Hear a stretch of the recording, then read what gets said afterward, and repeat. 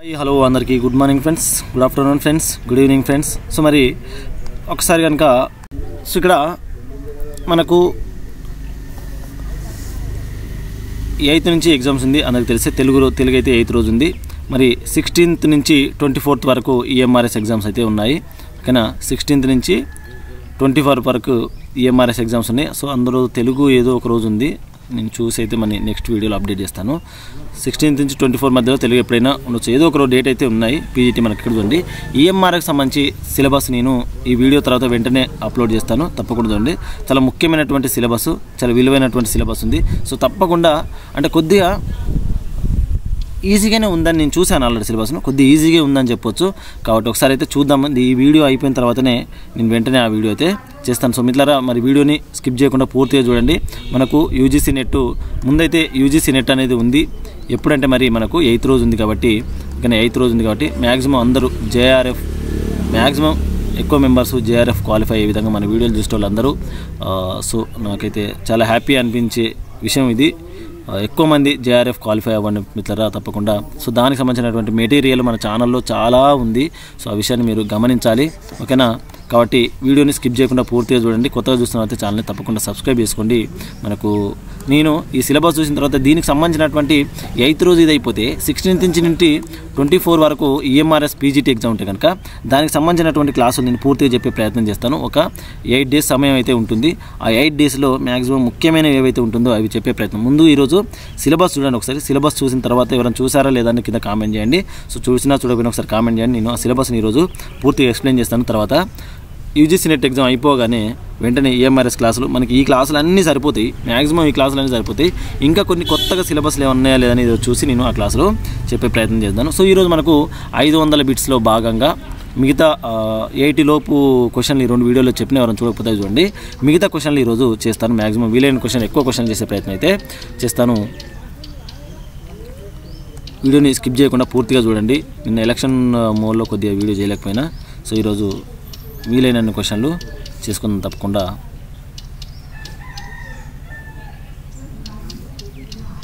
So ఇక్కడ చూడండి మరి మనకు తొంభై ఏడు నుంచి చూద్దాం. ఎందుకంటే మీరు అనుకోవచ్చు మిగతా క్వశ్చన్లు ఏమైనా ఆ క్వశ్చన్లు అంత వాల్యుబుల్ కాదు.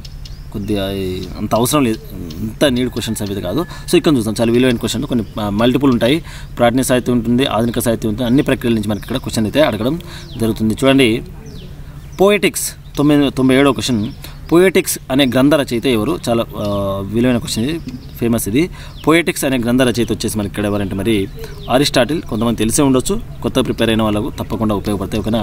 పోయెటిక్స్ అనే గ్రంథ రచయిత ఎవరంటే మరి అరిస్టాటిల్ ఓకేనా? ఎవరు? అరిస్టాటిల్ అరిస్టాటిల్ వీడియో స్లో అనిపిస్తే కనుక మీరు ప్లేబ్యాక్ స్పీడ్ ఉంటుంది. ఆన్ చేసుకోండి. One point two five next విధవను విధవను నాయికగా గ్రహించింది ఎవరు? ఓకేనా? విధవను నాయికగా గ్రహించింది ఎవరు అంటే ఇక్కడ మనకు మరి నారాయణుడు ఓకేనా? నారాయణుడు. ఎక్కువ ఎక్స్ప్లెనేషన్ చేయను డైరెక్ట్ వెళ్ళిపోతాను. నారాయణుడు మనకు. నెక్స్ట్ బాగా అవమానం పొందింది విప్రలబ్ధ. విప్రలబ్ధ అంటే ఎవరు మనకు? నాయికలు ఉంటారు కొంతమంది. అష్టవిధ నాయకులు ఆ నాయికల్లో ఒకరు మనకు ఓకేనా? నాయకల్లో ఒకరు మనకి ఎవరంటే మరి విప్రలబ్ధ. బాగా అవమానం పొందింది అని చెప్పింది ఎవరు అంటే ఇక్కడ మనకు మరి విశ్వనాథుడు ఓకేనా?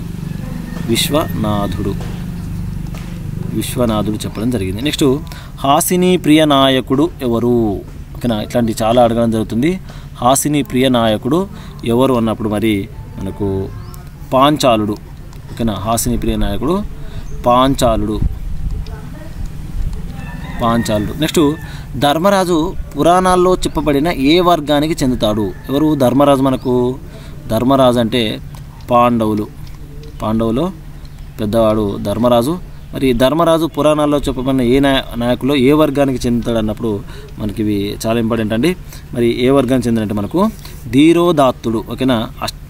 చతుర్విధ నాయకులు ఉంటారు కదా? ధీరోదాత్తుడు చాలా విలువైన క్వశ్చన్లు నేను ఎక్స్ప్లెయిన్ చేసిన మిత్రులారా మన పాత వీడియోలు చూడండి.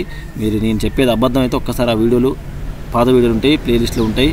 ఎక్స్ప్లెయిన్ చేసిన ఒకసారి ఏ విధంగా చూసానో చూడండి. ఈ ది ఈ చతుర్విధ నాయకులు అవన్నీ కూడా చెప్పిన ఒకసారి చూడండి. మనకి ఇప్పుడు ఎక్కడన్నా ధర్మరాజు హండ్రెడ్ పర్సెంట్ క్వశ్చన్ ధీరోదత్తుడు ఎవరు? ధీరోదత్తుడు ఎవరు? ఇవన్నీ కూడా మనకు అడుగుతాడు. ఇక్కడ మనకు ధీరోదాత్తుడు వచ్చేసి కన్ఫ్యూజ్ ధీరోదాత్తుడు ధీరోద్ధతుడు ఉంటుంది. ఓకేనా? శ్రీరాముడు శ్రీకృష్ణుడు ధర్మరాజు ఇవన్నీ కూడా అడగడం జరుగుతుంది మనకు. ధీర లలితుడు సో ఇట్లాంటివి అన్నీ కూడా ఉంటాయి. ఇక్కడ ధీరోదాత్తుడు వచ్చేసి మనకి ఎవరంటే మరి ధర్మరాజు ఓకేనా?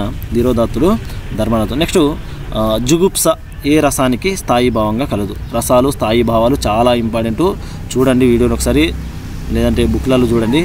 తప్పకుండా రసాల నుంచి క్వశ్చన్ అనేది రావడం జరుగుతుంది. ధీరో జుగుప్సకి మరి రసానికి స్థాయి భావం ఏంటంటే మరి ఇక్కడ బీభత్సం ఓకేనా? ఏంటి? బీభత్సం బీభత్సం ఓకేనా? జుగుప్స ఏ రసానికి స్థాయి భావంగా ఉంటుందంటే మరి బీభత్సం. నెక్స్ట్ అలకానగర వాసి అలకానగర్ ఉంటుంది అలకానగర వాసి ఉత్తర దిక్కుకు అధిపతి ఎవరు? ఇట్లాంటి అధిపతులు క్వశ్చన్లు వస్తాయి. ఓకేనా? అలకానగరం ఉత్తర దిక్కుకు అధిపతి ఎవరు అనడం జరిగింది. మరి ఇక్కడ ఎవరు అంటే మనకు ఇట్లాంటి ఎక్కువగా మ్యాచ్ ద ఫాలోయింగ్లో అడిగే అవకాశం ఉంటుంది. ఎవరు ఉత్తర దిక్కుకు అధిపతి ఎవరు? ఇక్కడ మనకు అలకానగర వాసి అని ఎక్స్ట్రాకి ఇచ్చిండు. కానీ అట్లా అవసరం లేదు. డైరెక్ట్ ఉత్తర దిక్కుకు అధిపతి ఎవరు అని అడగవచ్చు సో ఇక్కడ ఎవరంటే మనకు కుబేరుడు. ఓకేనా కుబేరుడు. ఉత్తర దిక్కు అధిపతి ఎవరంటే కుబేరుడు. ఓకేనా కుబేరుడు. నెక్స్ట్ తుంబురుడు నారదుడు సరస్వతి వీణల పేర్లు ఒకటి ఒకటి రెండు. తుంబురుడు నెక్స్ట్ నారదుడు సరస్వతి వీణల పేర్లు వరుసగా తెలపండి అని చెప్పడం జరిగింది. మరి ఒకటి ఏంటంటే కళావతి మహతి కచ్చపి. ఓకేనా? తుంబురుడు నారది సరస్వతి ముగ్గురు సారీ. వీళ్ళ ముగ్గురు యొక్క వీణల పేర్లు ఏం చూసుకుంటే కనుక ఒకటి తుంబురుడు వచ్చేసి మనకు కళావతి. కమాన్ కమాన్ కళావతి ఓకేనా కళావతి. తుంబురుడు వచ్చేసి కళావతి నారదుడు వచ్చేసి మహతి. మహతి తెలుసు కదా? మహతి. వీళ్ళు ముగ్గురు వీణలు పట్టుకొని తిరుగుతూ ఉంటారు. ఆ సరస్వతి వచ్చేసి మరి కచ్చపి. చాలా ఇంపార్టెంట్ అండి ఈ మూడు. కచ్చపి ఓకేనా కచ్చపి. కళావతి వచ్చేసి తుంబురుడు. నారదుడు మహతి. మరి సరస్వతి కచ్చపి ఓకేనా? ఈ మూడు ఇంపార్టెంట్. నెక్స్ట్ ఇక్కడ రాస్తా అవసరం లేదు. నెక్స్ట్ సార్వభీగడు సార్వభీగడు ఇందులోని పాత్ర ఏది? ఇది వదిలిపెట్టండి క్వశ్చన్ స్వా సారీ సార్. స్వారభీగడు ఏది? క్వశ్చన్ తప్పదు స్వారో శిష్యుడు ఓకేనా? స్వారో శిష్యుడు స్వారో శిష్యుడు ఇందులోని ఓకేనా? స్వారో శిష్యుడు ఎందులోది ఈ పాత్ర? ఓకేనా? స్వారో మనకు వచ్చేసి మరి మను చరిత్ర. ఎందులోని పాత్ర? ఇక్కడ ఇందులో ఎందులోని పాత్ర? మను చరిత్ర. ఓకేనా? మను చరిత్ర. స్వారో వచ్చేసి మనకు మను చరిత్ర.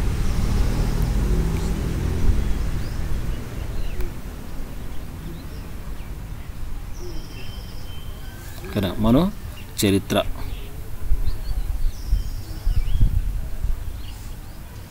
నెక్స్ట్ క్వశ్చన్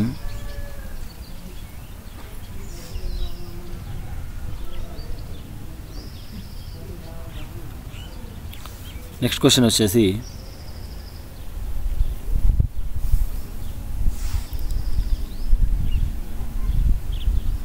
జాబిల్లి మీద సంతకం నవల ఎవరిది అన్నాడు?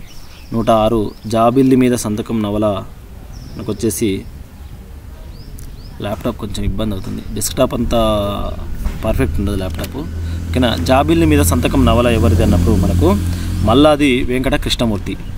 మల్లాది వెంకట కృష్ణమూర్తి.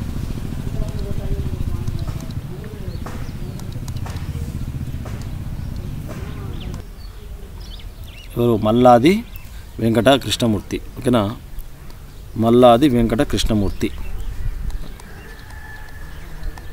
మల్లాది వెంకట కృష్ణమూర్తి.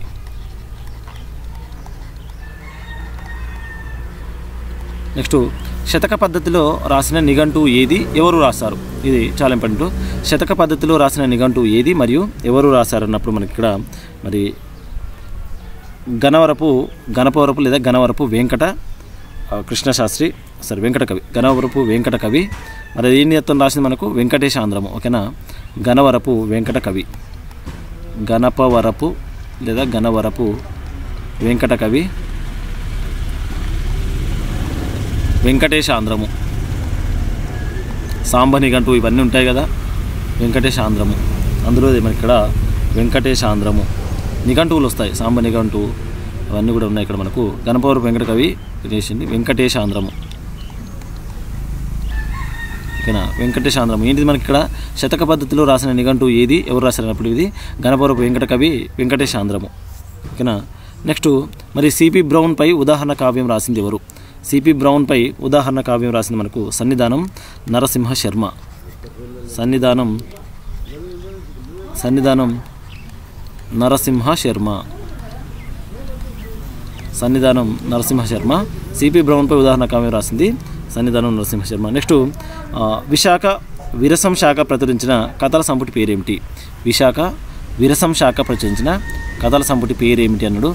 ఇక్కడ మనకు ఏంటంటే మరి ఆన్సర్ చూసుకుంటే కనుక సువర్ణ ముఖి. ఓకేనా? సువర్ణ ముఖి. సువర్ణముఖి ఈ సువర్ణముఖి గురించి ఒక క్వశ్చన్ వచ్చింది ఇంతకుముందు. నేను చెప్పినాను.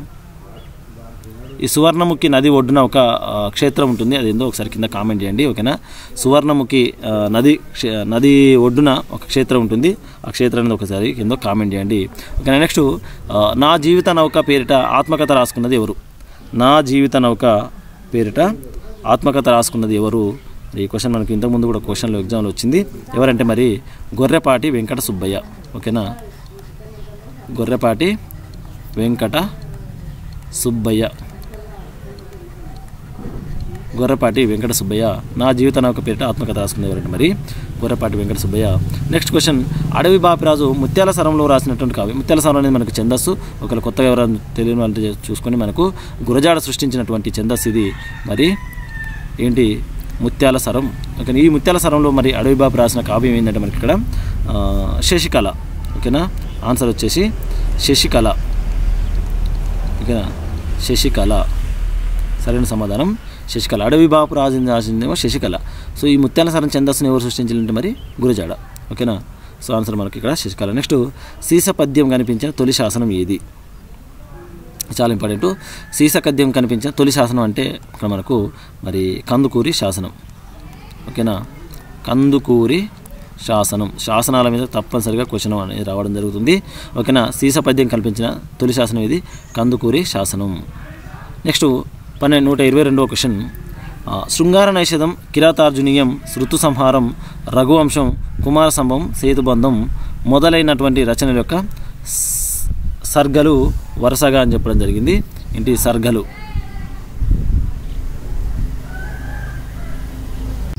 ఓకేనా? ఫ్రెండ్స్ ఇక్కడ మనకు శృంగార నైషధం కిరాతార్జునీయం ఋతు సంహారం రఘువంశం కుమార సంభవం శ్రేసుబంధం మొదలైన రచనల యొక్క సర్గలు వరుసగా మొన్న ఎగ్జామ్స్లలో అడగడం జరిగింది. సో ఇట్లనే దాదాపు ఈరోజు వన్ ఫిఫ్టీ క్వశ్చన్ వరకు చెప్తాం ఇట్లా చూడండి వీడియోని స్కిప్ చేయకుండా చూడండి పూర్తిగా. తప్పకుండా వీడియో ఇప్పటివరకు లైక్ చెప్తే లైక్ చేయండి. ఓకేనా? అందరికీ షేర్ చేయండి. ఎక్కువ మందికి షేర్ అవుతుంది. ఇక్కడ చూడండి మనం చూసుకుంటే కనుక మరి సర్గలు ఇక్కడ వచ్చేసి మనకు శృంగార నైషధం వచ్చేసి మళ్ళీ కింద రాయను. ఇక్కడ డైరెక్ట్ ఇస్తున్నాను చూడండి. శృంగార నైషధం వచ్చేసి మనకు ఇరవై రెండు సర్గలు ఈ వరుస క్రమం మొన్న అడగడం జరిగింది ఎగ్జామ్లో మళ్ళీ అడగవచ్చు ఓ లేదా ఒకటి సింగిల్ సింగిల్ అయినా అడిగే అవకాశం ఉండొచ్చు. ఓకేనా? శృంగార నైషధం ఇరవై రెండు అలాగే కిరాతార్జునీయం పద్దెనిమిది అలాగే మనకు ఋతు సంహారం వచ్చేసి ఆరు అలాగే రఘువంశం వచ్చేసి మరి పంతొమ్మిది ఓకేనా? కుమార సంభవం వచ్చేసి పదిహేడు అలాగే సేతుబంధం వచ్చేసి పదిహేను.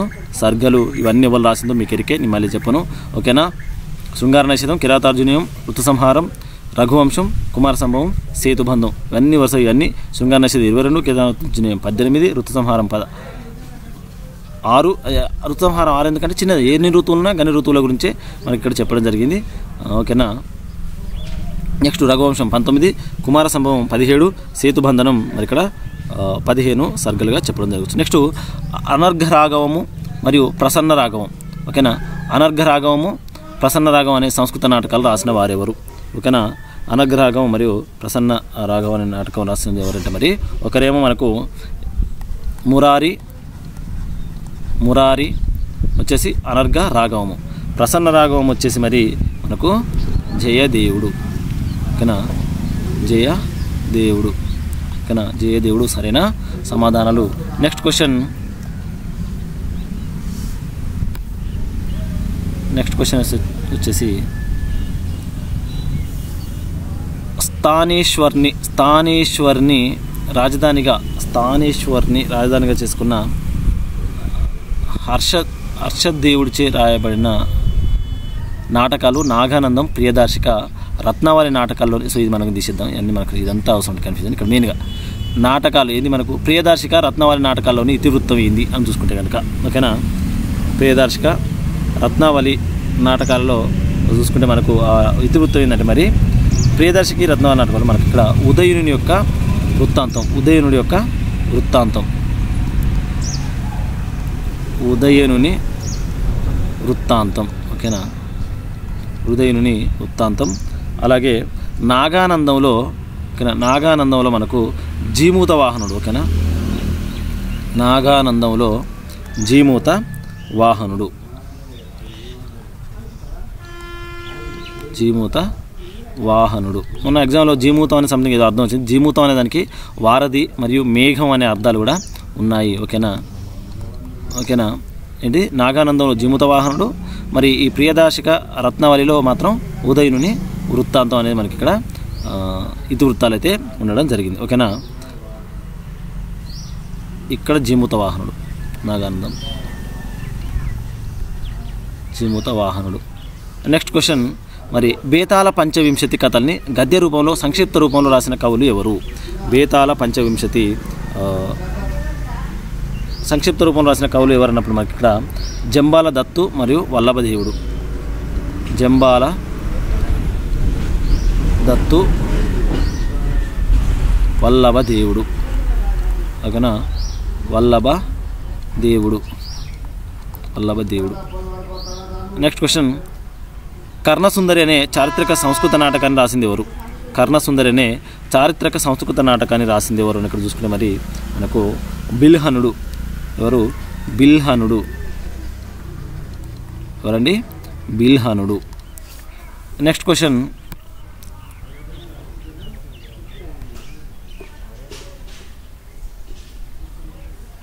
బిల్హనుడు. కాదంబరి నూట ఇరవై ఏడో క్వశ్చన్ కాదంబరి అలాగే కాదంబరి అభినవ కాదంబరి సంక్షిప్త కాదంబరి సంస్కృతంలో రాసింది ఎవరు? ఓకేనా? కాదంబరి అభినవ కాదంబరి సంక్షిప్త కాదంబరి మరి సంస్కృతంలో రాసింది ఎవరు అని చెప్పడం జరిగింది మనకు. మనకు వచ్చేసి ఒకటి కాదంబరి వచ్చేసి మనకు బాణుడు ఓకేనా? బాణుడు అలాగే డుండీరాజు వ్యాసుడు ఓకేనా? కొన్ని పేర్లు ఉంటాయి డుండిరాజు వ్యాసుడు అలాగే కాశీనాథుడు ఓకేనా? నెక్స్ట్ కాశీనాథుడు.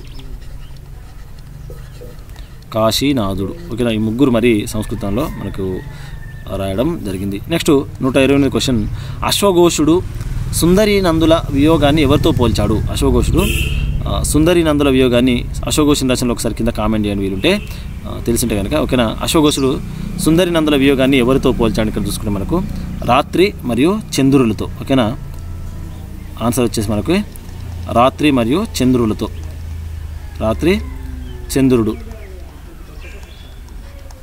రాత్రి చంద్రులతో పోల్చడం జరిగింది. అశ్వఘోషుడు అతని రచనలు ఒకసారి కింద కామెంట్ చేయండి. ఆ సుందరి నందుల యొక్క వియోగాన్ని ఎవరితో పోల్చినట్టు మరి? చంద్రుడు మరియు రాత్రులతో పోల్చడం జరిగింది. నెక్స్ట్ క్వశ్చన్ నీ పద్య వలుల ఆలకించు చెవులను విన్నాడు కావ్యములను తెలిపే ఈ కావ్యం ఏ కావ్యంలోనిది? ఈ పద్యం ఏ కావ్యంలోనిది? ఓకేనా? నీ పద్య వలుల ఆలకించు చెవులను విన్నాడు వాక్యంబులన్ అని తెలిపే ఈ పద్యం ఏ కావ్యంలోనిది? అంటే మనకు మరి శ్రీకృష్ణ క్రీడలు ఎక్కడుంటాయి? శ్రీకృష్ణ క్రీడలు భాగవత దశమ స్కందం భాగవత దశమ స్కందం భాగవత దశమ స్కందం ఓకేనా? భాగవత దశమ స్కందంలో మనకు ఈ పద్యపాదం అయితే ఉండడం జరిగింది. నెక్స్ట్ నూట ముప్పై క్వశ్చన్ మరి ఏయాతి చరిత్ర భాగవతంలో ఏ స్కందంలోనిది? ఓకేనా ఏయాతి చరిత్ర భాగవతంలో ఏ స్కందంలోనిది అనుకున్నప్పుడు మనకి వచ్చేసి నవమ స్కందం. ఓకేనా? నవమ స్కందం ఎవరు రాశారో ఒకసారి కింద కామెంట్ చేయండి. నవమ స్కందము ఎవరు రాశారో కింద కామెంట్ చేయండి. మనకు మొత్తం ఎంతమంది రాస్తారు? నలుగురు రాయడం జరుగుతుంది. అందులో నవమ స్కందం ఎవరు రాశారో కింద కామెంట్ చేయండి. ఇట్లాంటి క్వశ్చన్ స్కందాల గురించి ఎవరెవరు రాశారు ఏ స్కందం ఎవరు రాశారని మనకు క్వశ్చన్ అడిగే అవకాశం ఉంటుంది. నవమ స్కందం ఓకేనా? ఒకటి రెండు మూడు నాలుగు ఐదు అలాగే ఏడు ఎనిమిది తొమ్మిది పది ఎవరు? ఐదు ఆరు ఎవరు? పదకొండు పన్నెండు ఎవరు? అనేది నేను ఒక వీడియో చేసిన. చూడండి ఒకసారి ఇక్కడ నవమ స్కందం ఏదైతే ఎవరు రాసినది మనకు యాతి చరిత్ర ఏ భాగంలో అంటే మరి నమ నవమ స్కందం అంటే తొమ్మిదవ స్కందంలో. ఓకే నవమ అంటే తొమ్మిదవ స్కందంలో ఉన్నది. ఏంటి? ఏత చరిత్ర. నెక్స్ట్ శ్రీమన్నారాయణ యొక్క ఆయుధాలు వరుసగా వాటి పేర్లు ఏమిటి శ్రీమన్నారాయణుడు అంటే నారాయణ శ్రీమన్నారాయణ యొక్క ఆయుధాలు ఏమేమి ఉన్నాయో ఒకసారి చూసుకుంటే కనుక ఇది చాలా ఇంపార్టెంట్. ఒకటి ఒకటి శంఖం ఓకేనా? శంఖం అంటే దీని పేరు కూడా ఉంటాయి. శంఖం రెండవది చక్రం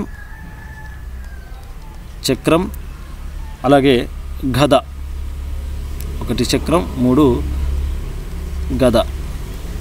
గద. శంఖం పేరు ఏమిటి మరి? శంఖం పేరు మనకు వచ్చేసి పాంచజన్యం.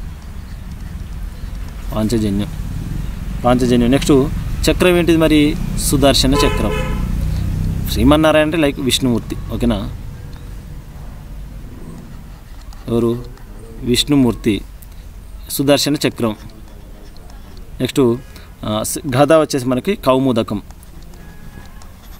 కౌముదకం. ఓకేనా? శ్రీమన్నారాయణ లేదా విష్ణుమూర్తి యొక్క ఆయుధాలు వరుసగా వాటి పేర్లు ఏమిటి అన్నప్పుడు మనం చూసుకుంటే ఒకటి శంఖం శంఖం పేరు పాంచజన్యం చక్రం చక్రం పేరు సుదర్శన చక్రం ఓకేనా?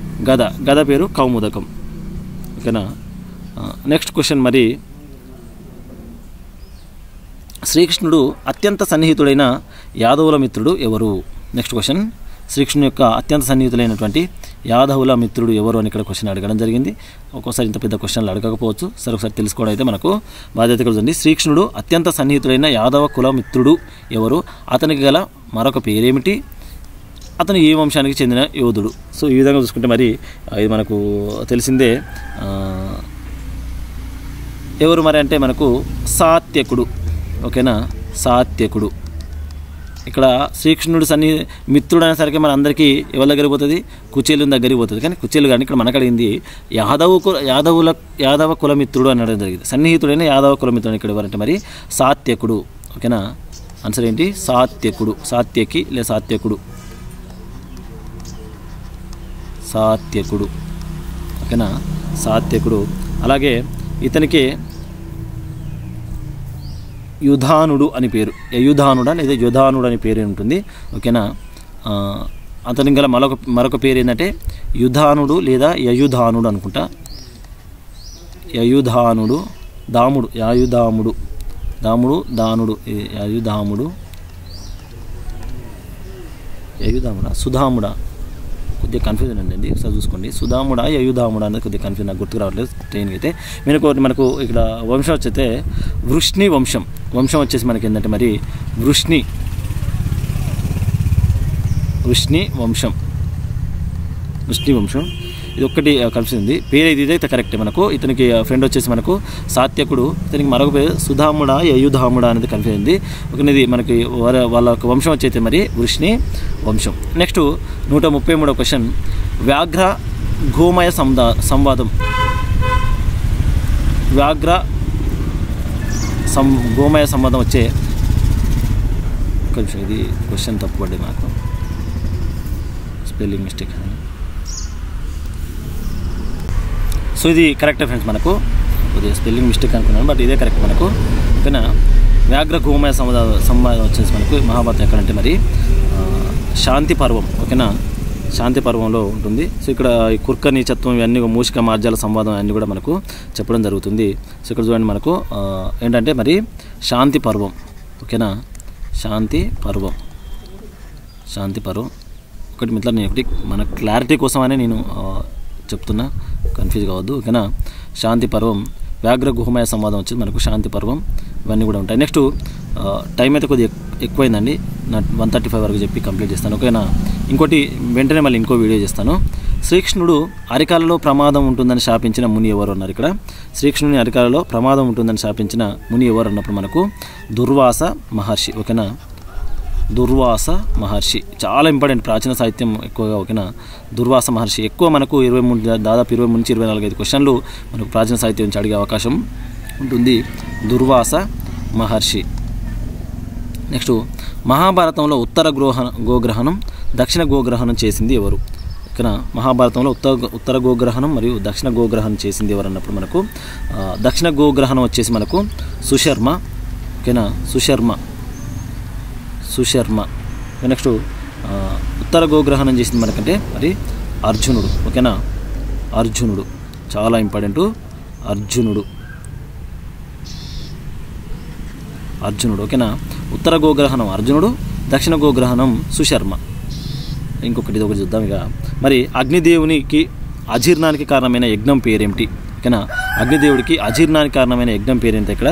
ద్వాదశ వర్ష యజ్ఞం ద్వాదశ వర్ష యజ్ఞం సో మిత్రులారా ఇవి అయితే మరి చాలా క్వశ్చన్లు అయితే చెప్పిన అనుకుంటున్నాను. దాదాపు మనం ఎక్కడి నుంచి నైంటీ వన్ నుంచి చెప్పుకున్నట్టున్నాం. ఓకేనా మరి? టైం కొద్దిగా ఎక్కువనే అయింది. మరి ఈ వీడియో పూర్తిగా చూసిన వాళ్ళందరూ కూడా మరి కృతజ్ఞత తెలియజేస్తున్నా. అలాగే కొత్తగా చూసిన అయితే ఛానల్ తప్పకుండా సబ్స్క్రైబ్ చేసుకోండి. బెల్ ఐకాన్ నొక్కి ఆల్ సెలెక్ట్ చేసుకోండి. నేను వీడియోలు చేసిన వెంటనే మీకు నోటిఫికేషన్ వస్తుంది. దీని తర్వాత వెంటనే మళ్ళీ నూట యాభై కానీ వన్ సిక్స్టీ కానీ క్వశ్చన్లు చేస్తాను తప్పకుండా. ఓకేనా? నూట యాభై కాదు మేబీ అంతే. వన్ థర్టీ సిక్స్ అంటే ఇంకో వన్ ఫార్టీ వన్ ఫిఫ్టీ లోపు అయితే తప్పకుండా క్వశ్చన్ చేస్తాను. ఓకేనా? మరి నేను వెంటనే నేను మన సిలబస్ కూడా వీడియో చేస్తాను. ఈఎంఆర్కి సంబంధించింది.